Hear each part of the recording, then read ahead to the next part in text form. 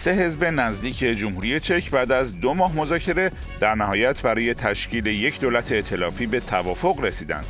بدین ترتیب بوهوسلاف سوبوتکا رهبر حزب سوسیال دموکرات از سوی میلوش زمان رئیس جمهوری این کشور به عنوان نخست وزیر منصوب می شود.